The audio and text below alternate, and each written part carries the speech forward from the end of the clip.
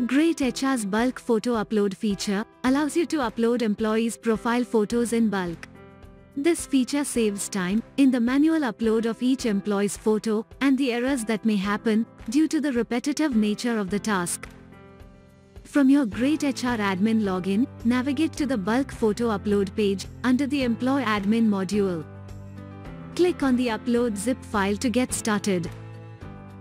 In this wizard, you can upload the profile photos of multiple employees in one shot by uploading a zip file containing all images.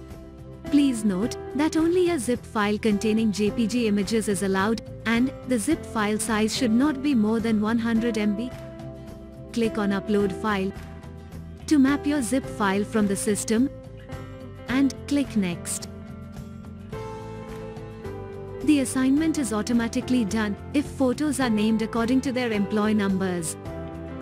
If not, you can easily associate an employee with the photos. Click on the Finish button to complete the task. You can see the success message on this page. Employee profile photos are now available on the Employee Profile page under Employee Information module. With that, we come to an end. Thank you for watching the greytHR How to video series.